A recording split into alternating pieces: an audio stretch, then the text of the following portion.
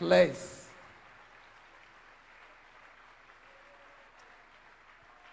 You cannot worship the Lord the way we have tonight and God not respond. You know, the glory could be in a place and some people don't know it because they did not give God a worship. And they can miss out on an, on an opportunity and a timing of the Lord to do something in their lives. He created us to worship Him. And this is what it means to worship the Father in spirit and in truth, and in the very beauty of holiness. The beauty of holiness means our motive is just to love Him, even though we may have needs, but just to love Him and show Him how, how grateful we are, just extending our gratitude to His goodness, even though we don't deserve anything. But it's something about God. God has a weakness, you know, and His weakness is when we worship Him, He has to respond. He can't help Himself. Come on, let's give the Lord another hand of praise.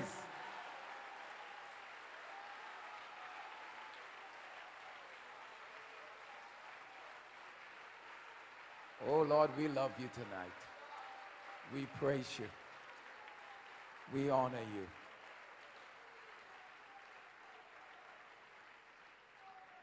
You may be seated in his presence. I, I, sense that the spirit of revival has come. And I believe that most countries need a revival. Not just a few nights of evangelistic services, but the spirit of revival, I believe, has rested in this place tonight. And, and there's a spirit of expectation. Faith is high, and that's it. All of us, as we unite together in the spirit of love and unity, we will see the hand of God moving among us. Hallelujah. The focus is Him. We're here to, for no other reason but to glorify the Lord Jesus Christ. Hallelujah. And I want to thank God for the angels of this house, Apostle Stephen and Pastor Sandra Hallford. Uh, we thank God for their dynamic leadership. And um, you, you can see the leadership that God has given to them as a reflection, even in the praise and worship. It, it, it is just dynamic. I haven't seen it better to tell you the truth. And I have been a lot of places. This is just awesome. You all are anointed of God my Lord. Hallelujah. I can just stay here and just worship the Lord and just let Him do what He needs to do. Hallelujah. But however, I believe the Lord has placed a word in my heart. And this afternoon, I was before the Lord and He put this word in my heart. And, and I'm going to share it with you just for a few moments. And then we're just going to let God do what He wants to do. I believe freedom has already come, deliverance has already come we have been making our declarations over the last couple of days that all will be healed, all will be delivered, all who are unsaved will be saved. Hallelujah.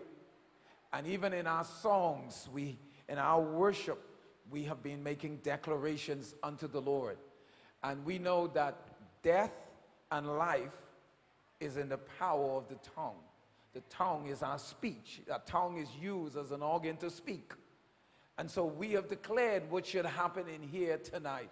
And I know that God will honor our declarations and decrees. Hallelujah.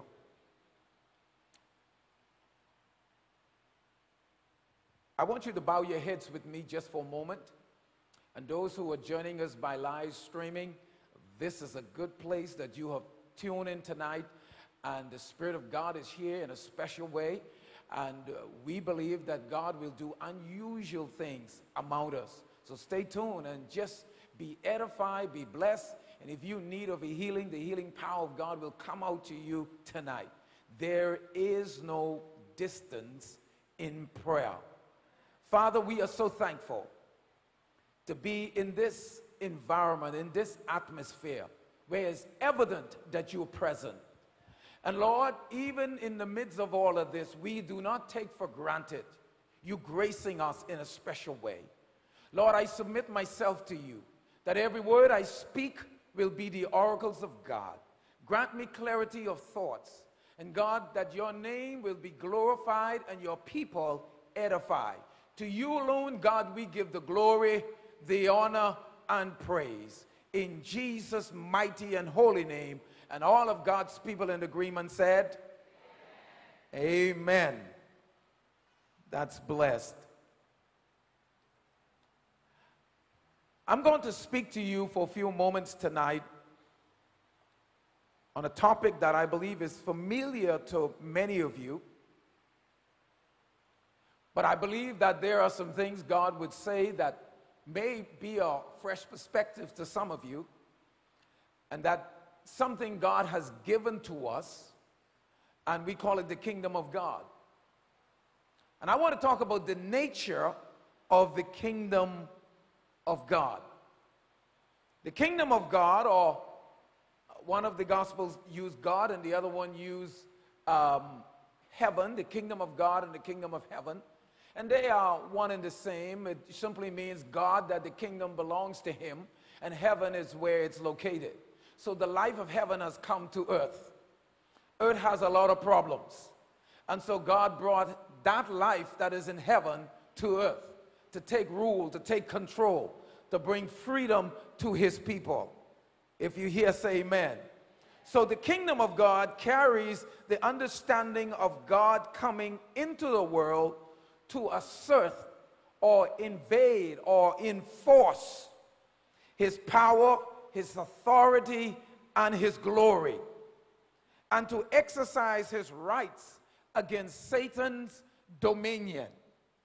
Because we must understand when we talk about Satan's dominion, the Bible says that he is the God of this world, which means that it is a world system that he is over with different values, different standards, different philosophies. And, and so the word of God is written to say, what is God's standards? So Satan, you got to understand, he perpetuates everything that is unholy and unrighteous. But the kingdom of God has come so we can rise up to the standard of God. And when we say the kingdom of darkness or the Satan's dominion, we are talking about sin, sickness, disease, demonic oppression, poverty, death. All of these things Satan has uttered to bring misery to mankind. So you got to understand everything that holds us hostage is the works of the devil. For the Bible says, For this purpose, the Son of God was manifested or revealed that he may destroy the works of the devil. And then it tells us in Acts chapter 10, verse 38, how God had anointed Jesus of Nazareth who went about doing good and healing all that were oppressed of the devil. And to be oppressed of the devil, it means that people are in bondage to sin, whether they're bound to drugs, alcohol, sexual immorality, you name it, people are bound. We come to understand that the enemy has afflicted so many of people, even including God's people. Many people are diseased. Many people are under a satanic oppression. And then, of course, there's the spirit of poverty, where there's lack, where basic needs are not met. And when that is the case, you find out that there is fear and anxiety and, and, and, and, and doubt and unbelief will begin to develop. And that's not the will of God. So Satan comes and he oppresses the people of God. But I decree and declare tonight that freedom has come. So when you hear about the kingdom of God, it is more than salvation or the church. The church is the body that God has entrusted to reveal his kingdom. We have been given a sacred trust to reveal the goodness of God. The kingdom is God expressing himself powerfully in all of his works.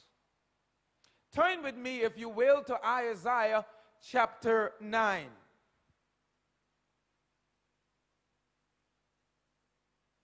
The book of Isaiah, chapter 9. And I want to read to you a passage that is familiar to many of us, verses 6 and 7. And it reads For unto us a child is born. That's Jesus, the human, representing God in the earth. In other words, Jesus, the man, had a beginning because he is man just like you and I. And then it says, Unto us a son is given. A son wasn't born. A son of God is eternal. But the Son of God took on human flesh. Are you still here? So the Bible makes it very clear that this person, Jesus, is the Son of God.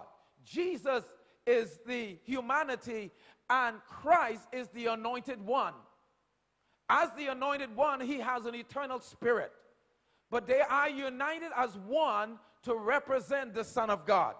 And it says, and the government should be upon his shoulders. In other words, what the government is given for. A government governs and rules. And so he brought his government that the rule of God now has come into the earth. Wherever there's God's rule, there's going to be freedom. Sickness and disease cannot dwell where the rule of God is. If I can I have a witness?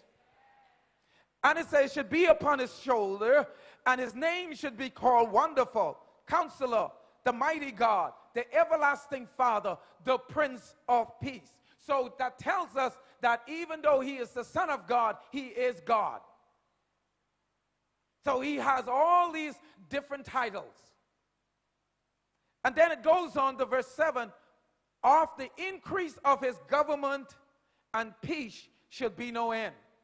This government that has come to the earth will continue to increase because more and more people will make entrance into the kingdom of God. The population is getting bigger and bigger as the time goes along. And then it tells us too and there should, and peace, and there should be no end. This is a supernatural peace that God endows in those who accepted Jesus as Lord and Savior.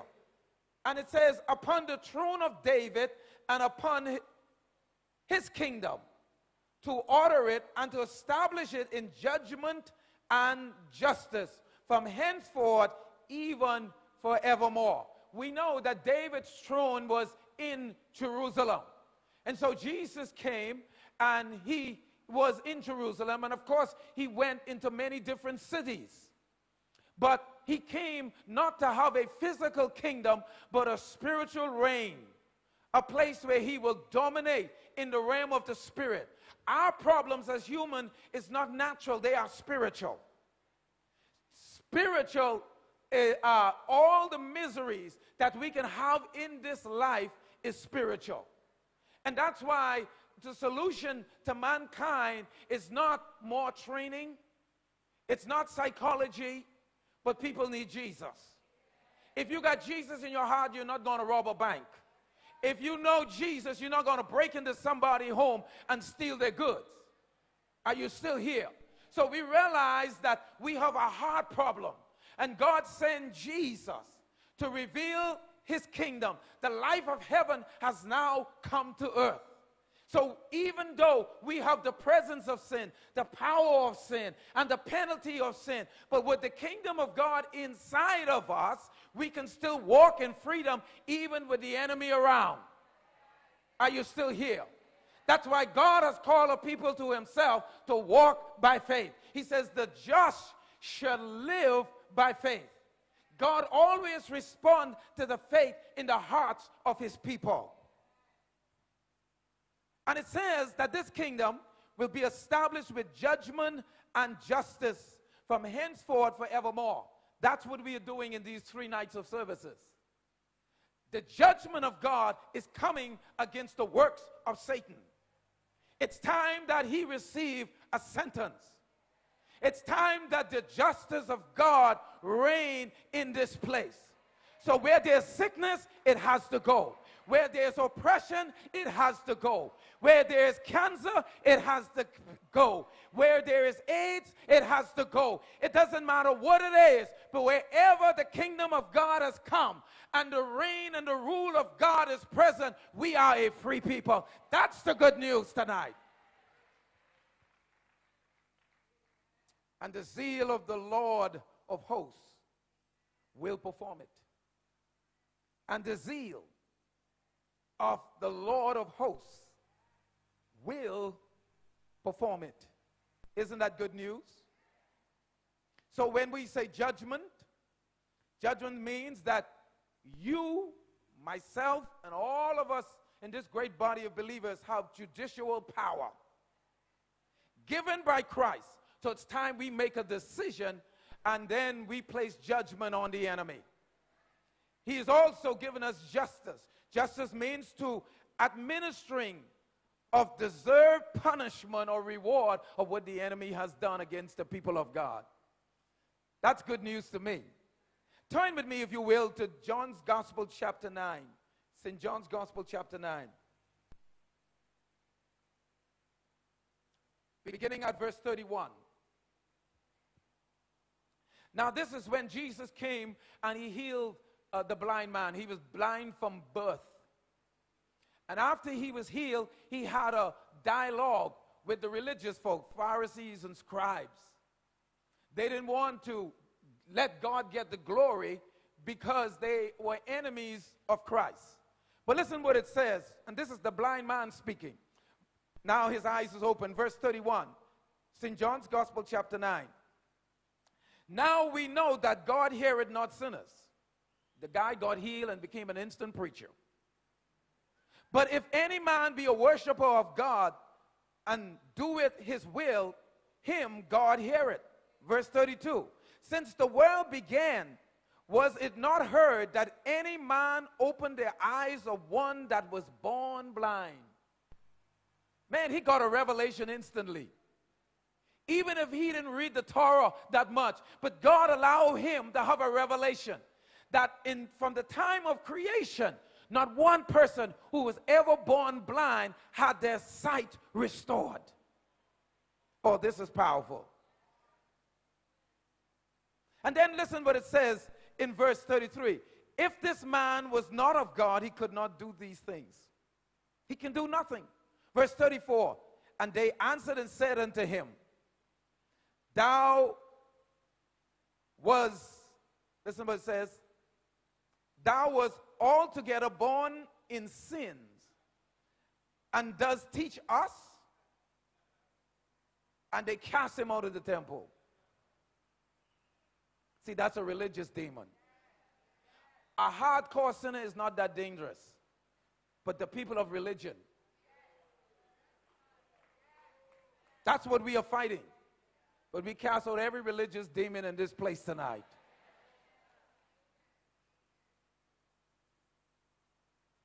And I want to leave you with three principles or points tonight. As we talk about the nature of the kingdom of God, number one, the reality of the kingdom will not be experienced unless you make entrance into that kingdom. Except a man be born again, he cannot see the kingdom of God. In other words, unless there is regeneration or spiritual birth or being born from above, when we repent of our sins and ask Jesus to come into our lives, then we are born again. And when it says you can't see, it means you don't have the ability to perceive when the kingdom of God is at work. It'll be there and you wouldn't know. So he says the only way you can access when heaven's life is on earth, you got to enter into the kingdom of God and have a new birth. So, in other words, we're born into this world in a physical birth, but we need a second birth, and that's the spiritual birth.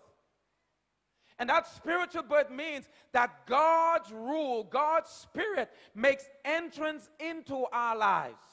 So we become sensitive to the rule and the desires and the will and the intent of God.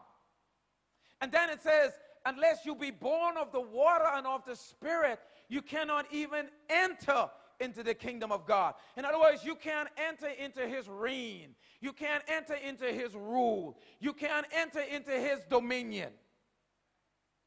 That's the beauty. We don't have to be ordinary people. When the kingdom of God comes in us, Jesus says, Don't look over here and over there. The kingdom of God is in you. And if the kingdom is in us, that makes us supernatural people. That makes us a people who can tap in to the rule and reign of God. That's why everybody in this place tonight is going to be healed. That's why everybody who is under a spirit of oppression is going to be set free. Because God's kingdom, we already made the declarance that we want the fullness of your spirit, Lord. We want more of you, God. And God heard us tonight.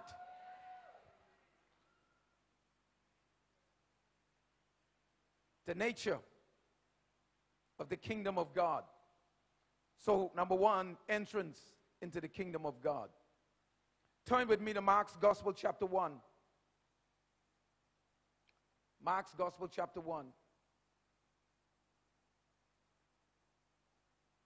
And verse 14. Listen what it says. Now, after that John was put in prison, that's John the Baptist, Jesus came into Galilee preaching the gospel of the kingdom of God. Why did he preach the gospel of the kingdom of God? And saying, these are the words of Jesus, the time is fulfilled and the kingdom of God is at hand. Repent ye and believe the gospel. See, the kingdom is the good news. That's the gospel. Now, we understand after Christ went to the cross and he died, we realize you can't enter the kingdom unless you accept what he done on the cross. Are you still here? He shed his blood. He died a cruel, humiliating, sadistic death on Calvary's cross so we can be saved. The Bible says that Jesus knew no sin, but he became sin for us so we would be made the righteousness of God. When we have union with Christ, He declares us righteous. He declares us holy. He declares us sanctified. That means we are a special, chosen, set aside people, have a right to have His rule and reign in our lives because of what Jesus had done on the cross. So the cross is, is, is, is what is needed in order for us to make entrance. Recognizing that it was His blood that cleanses us from all unrighteousness. But then it tells us that first of all, to enter into the kingdom, we must repent. If we were going in an easterly direction, we make a complete turn, recognizing the fact that we are sinners and in need of a Savior. And then, when we repent, the Bible says, godly sorrow worketh unto repentance, unto salvation. And so it means that God's rule and reign come into our lives. That makes us special. It means that God gives us a higher quality of life. But if you want to just be half stepping with God, then you will experience the full rule and reign of God. Because you're giving too much opening to the enemy. He's already the defeated foe. But if you come in, a, in agreement with him, it gives enemy legal right to do. God is the lawmaker. Man is the lawbreaker. And Satan has a right that he can execute based on the fact that we violate God's law. And I believe that's the number one reason why the devil is able to afflict so many of God's people because we are constantly violating the laws of God with sin, but also with health violation of the laws of God. You could be anointed and still die before your time. Because you see, we have a will. We have to determine that we're not going to violate the law of God. If you have a disease in your body tonight and you know that you have a very unhealthy eating habit, you're overworking your body, sometimes seven days a week, and it break down, the first thing before God restore your health, you need to repent. You can't drink four Coke sodas a day and expect to be walking in divine health, even if you pray six hours a day. You're violating a law. You will have the presence on you, but you will not be well. I want to educate somebody tonight.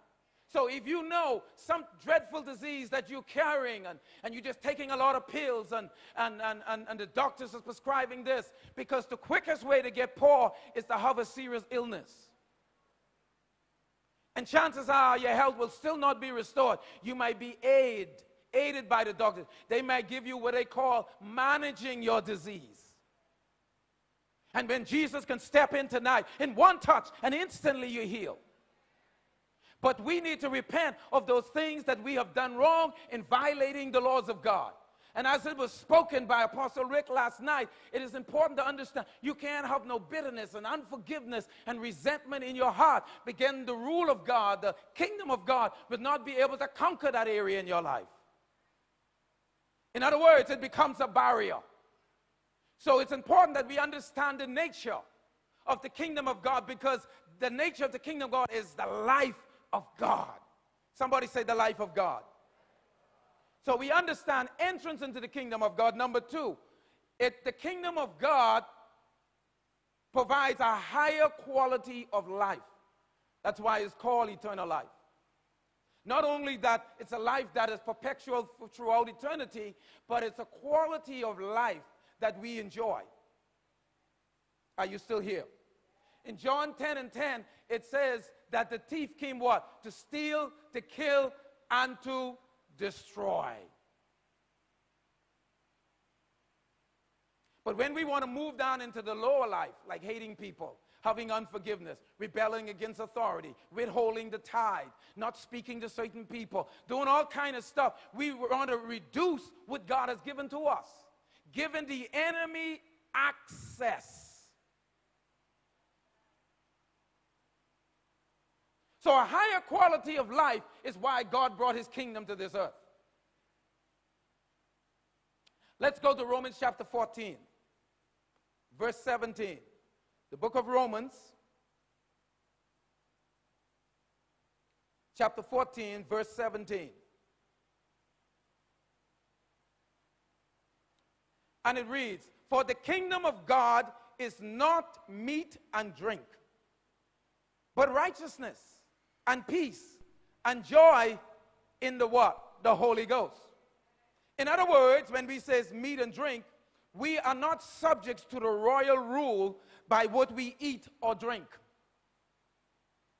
It is not ceremonial in nature. That is not going to allow you to move in the kingdom of God, in the life of God. But then it says, but righteousness and peace and joy in the Holy Ghost. So we understand it God has given us a higher quality of life, righteousness. God wants us to manifest his righteousness. That is an act of the human will to do what is right. As God teaches us his word, we have to become one with that word. Righteousness means that we are in right standing with God. We in right relations with God. It means we are doing what is right in the eyes of God. And he says, when you do that, it keeps the life of God's kingdom in us alive. And then through righteousness, then it says, and peace.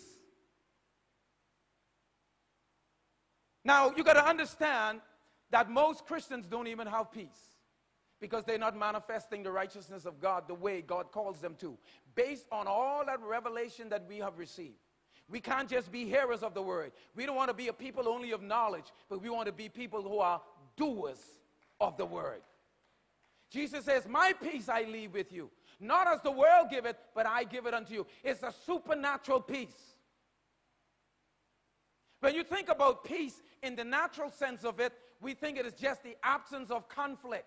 That is what we call peace naturally. But spiritual peace will abide even when external circumstances aren't right because it is supernatural. Even when all your bills are not paid, you still have the peace of God that passes all understanding.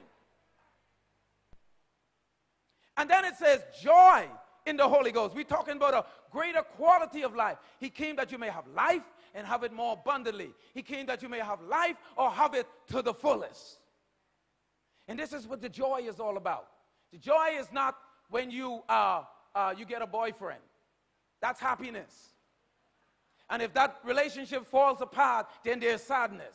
But I'm talking about something that the Holy Ghost Himself produces in us. The joy of the Lord is our strength. When somebody is filled with the joy of the Lord, they are strong in His might, in the power of His might. So it says, the kingdom of God is not in meat and drink, but in righteousness, in peace, in joy, in the Holy Ghost or the Holy Spirit. That is good news. A higher quality of life is why Jesus brought the kingdom. And the government should be upon his shoulders. His supreme rule will be in the earth. Every satanic force will be defeated. That's what is he saying. That's why sickness had to disappear when Jesus came on the scene. Demons flee. It didn't matter what was people's misery or area of captivity. When they came in the presence of Jesus, they were free. Now that kingdom, Jesus has ascended back to heaven, and now the kingdom is with the church. The church has been entrusted with the life of heaven.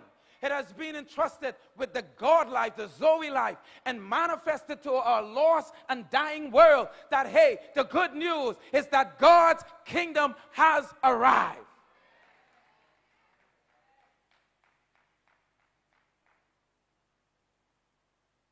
And then the third and final point. We're talking about the kingdom of God. Is rulership, power, and authority. It's all about rule. Satan is the God of this world, the world system. He's not the God of the universe, he's not the God of the earth, but he is the God of the system. The system that people who reject Christ, then he rules over them. Are you still here? And that's why, because we were called out of darkness into his marvelous light, the fact that we were translated out of the kingdom of darkness into the kingdom of light, don't allow Satan to use you as a tool or an enemy to tear down the work of God.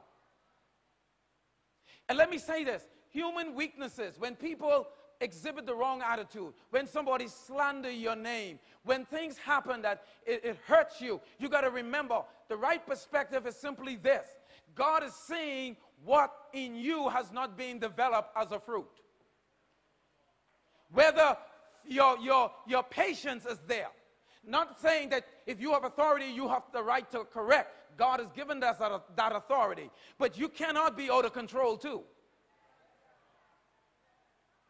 Every time I say to my church, let's go right, and some decide to go left, it's a test of my own patience. Do I get up on the pulpit and blast them out, or I tell them in a nice way in love? But even though I have a right to rebuke, couldn't even get an amen there. This is important. Rulership, power and authority, and dominion. Power means explosive, might, strength dunamis. That's what it is.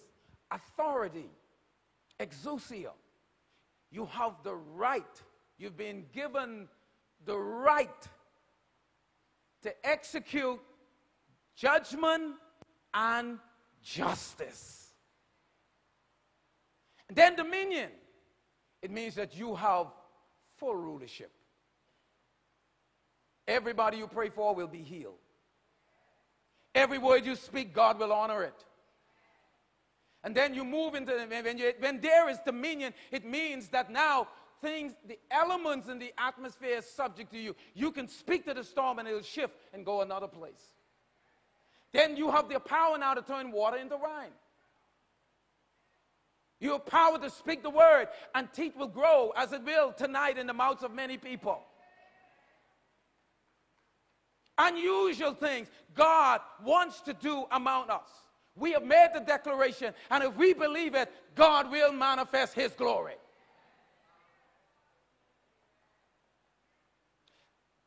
Let's go to uh, 1 Corinthians chapter 4, verse 20.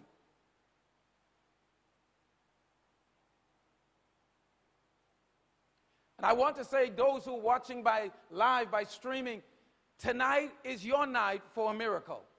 God's power will touch you. It doesn't matter what island or what country that you are in, God wants to touch you. It is not by accident that you tune in because God has a miracle for you. 1 Corinthians chapter 4, verse 20. If you dare say amen. And we're talking now about rulership. For the kingdom of God is not in word, but in power. That's why the kingdom is more than just having a philosophy or a belief or we have concepts. But you got to understand it's about power.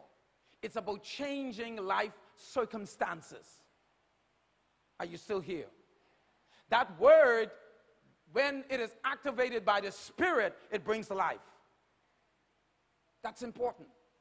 So we see here that Paul says that the kingdom of God is not in word, it's not just in talking. Paul says to the Corinthian saints, I didn't come to you with the wisdom of men, but in power and demonstration in the Spirit, that your faith may not be established in the wisdom of man, but in the power of God. Let's go to Matthew chapter 4. I'm almost done. Matthew chapter 4. Verses 23 and 24. Listen to Jesus' ministry. It cannot be more clearer than it is in these two verses of Scripture. Matthew 4, verses 23 and 24. It says, And Jesus went about all Galilee, teaching in their synagogues and preaching the gospel of the kingdom. What gospel he preached? The gospel of the kingdom. And healing all manner of sickness, not some, all. And all manner of disease among the people. Now we have been given that commission. He says, Go he didn't say pray for the sick. He says go and heal the sick. He says go, cleanse the leper. Go, go and give sight to the blind.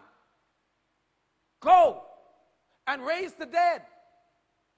Freely you receive, freely you give.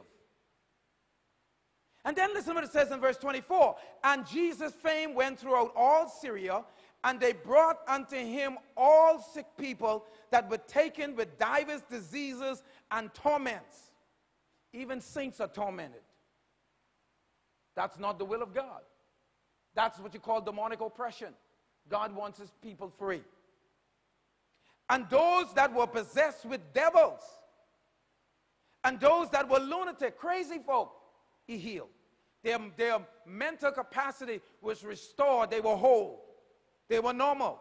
And those that had palsy, and he healed them.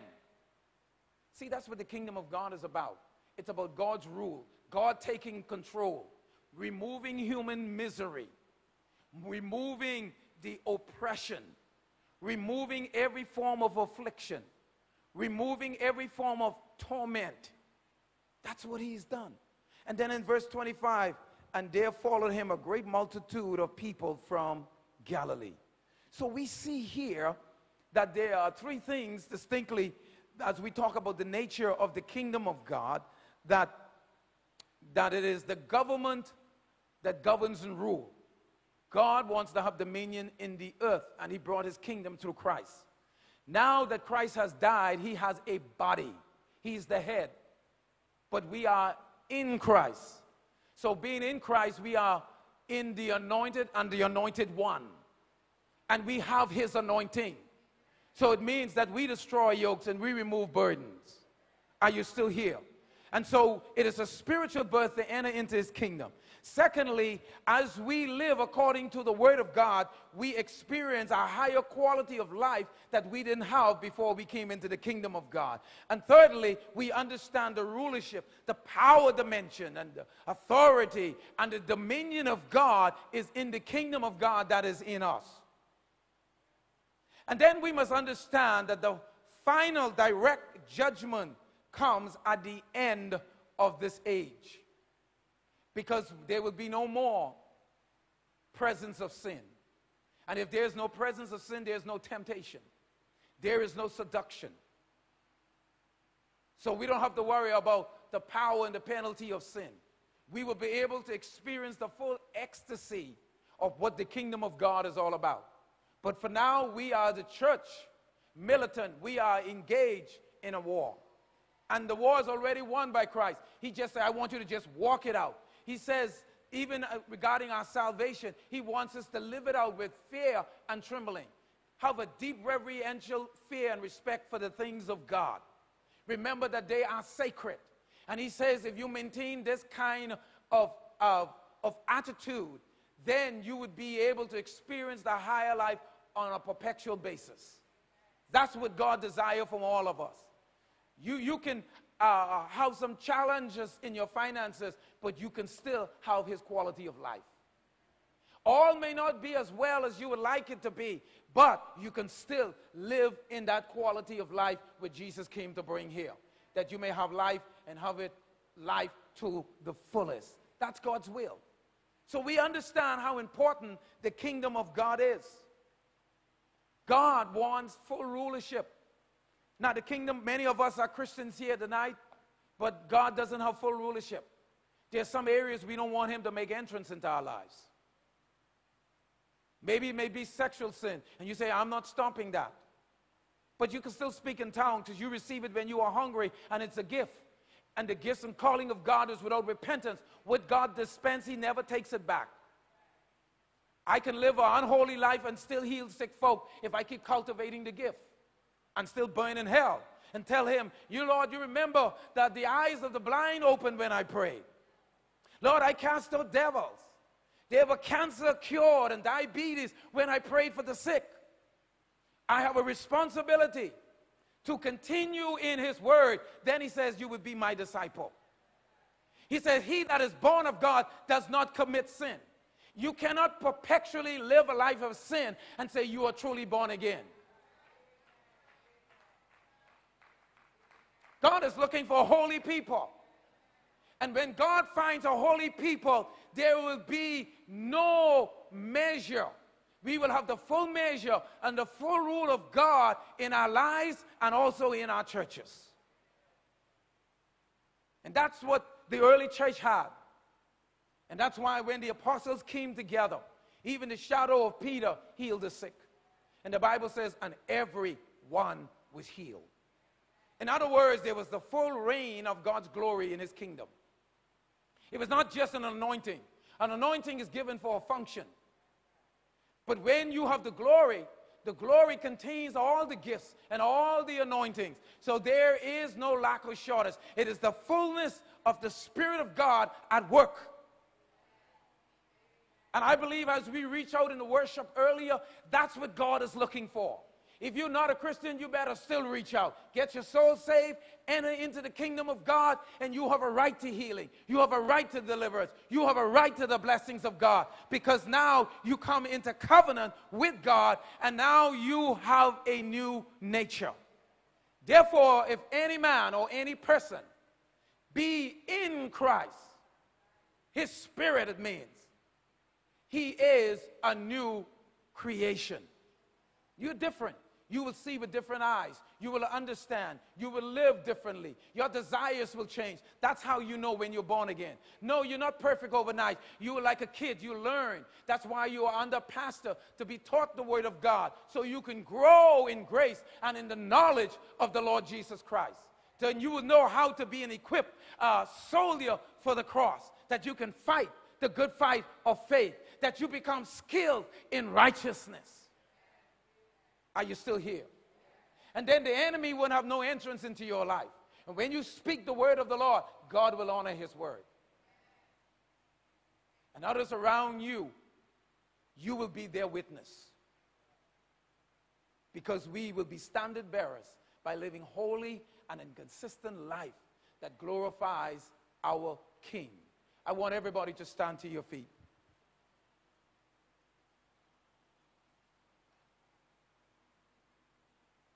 Stand to your feet, everybody.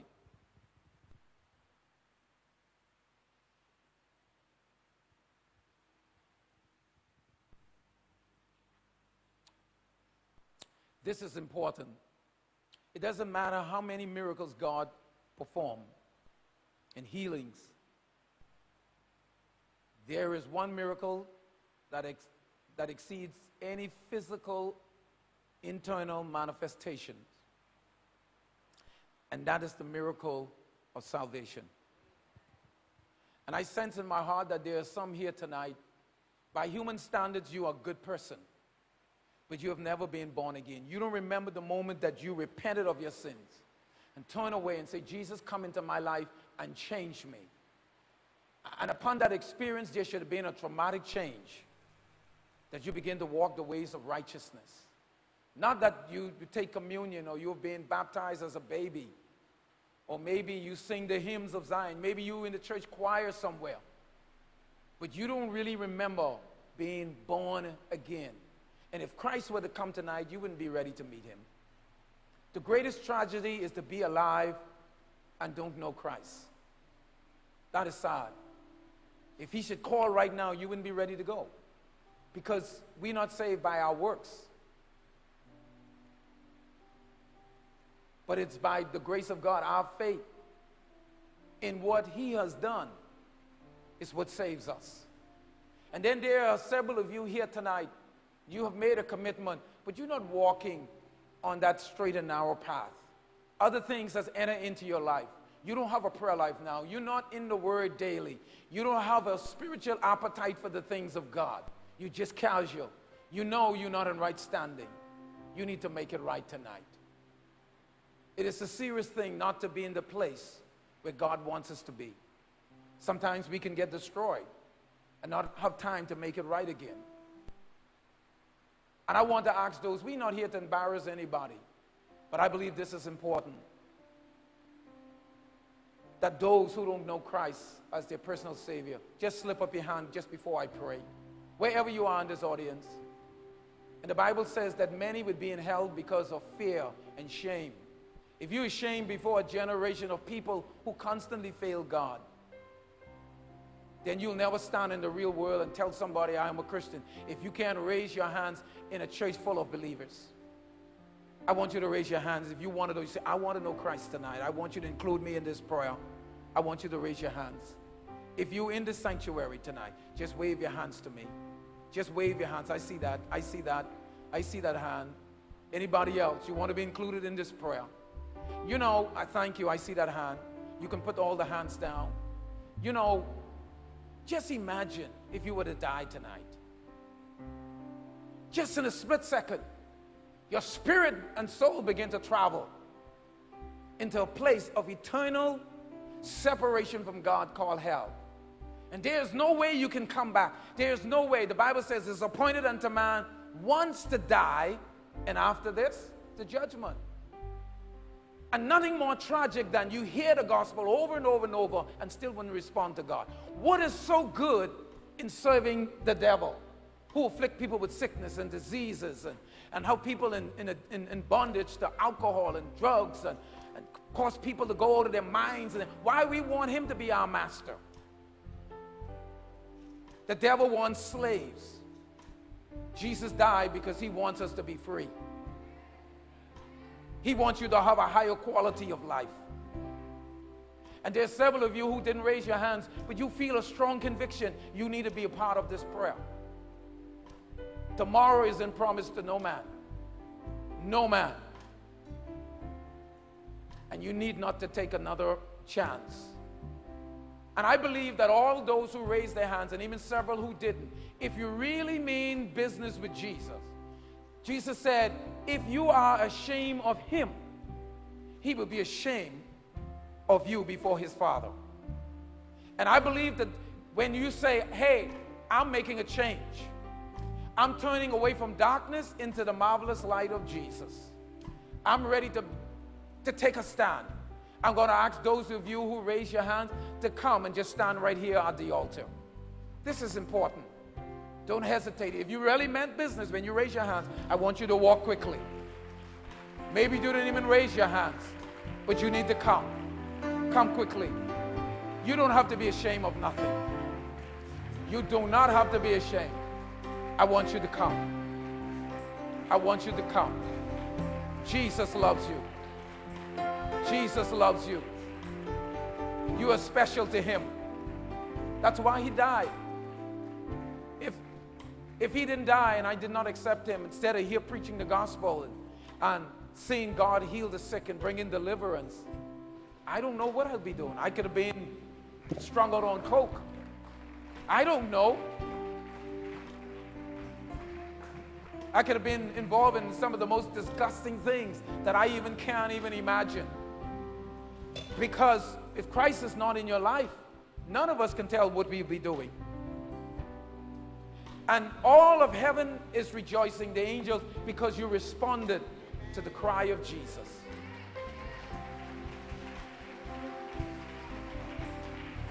And I want to commend all of you for taking that bold step. I'm going to lead you in a sinner's prayer. And the Bible says, any person that come to Jesus, he will in no wise cast out. In other words, he wouldn't turn you away because he came to seek and to save that which is lost. It doesn't matter what you have done. The blood of Jesus will cleanse you from all unrighteousness. I'm going to lead you in a prayer. And you're not just repeating after me only, but you mean it from your heart, and a transformation will take place within. We are not saved by what we feel, but we are saved by what we believe. What we feel is the spirit of conviction that God is tugging at your heart and say, move. You need to make that commitment tonight. You need to make that commitment tonight because the opportunity may not present itself. You may not have conviction again. So you have to move now while the Spirit of God is moving on you. And I want you to repeat these words after me. And the congregation as a great source of strength to these precious men and women of God who are bold to walk up here and to surrender their life to Jesus. And those who are standing on this line, I want you to say it loud and mean it. Close your eyes right now. And I want you to say this after me. Dear Lord Jesus. Dear Lord Jesus. I acknowledge, I acknowledge that I am a sinner and in need of a Savior. Lord, forgive me for my sins. Lord, for my I know I have sinned against you I know I have sinned against you in spoken words, in spoken words, in thoughts, thoughts, and in deeds. and in deeds. Come into my life, Lord, Come into my life and change me. and change me. You said in your word, You said in your word, if I confess with my mouth if I confess with my mouth, and believe in my heart, believe in my heart, not my head, not my head, but in my heart, but in my heart, that you raised Jesus from the dead, that you raised Jesus from the I am saved. dead, I am saved, And I accept your word and I accept your word as truth. Thank you Thank you for saving me for saving me, and writing my name writing my name in the Lamb's book of life, in the Lamb's book of life, not with pen and ink, not with pen and ink, but signed with the blood of Jesus. signed with the blood of I pledge tonight I pledge tonight to live for you to live for you the rest of my days. the rest of my days. In Jesus' name, In Jesus' name, amen. amen. Let's give the Lord a loud clap offering for these wonderful souls that have come into the kingdom of God.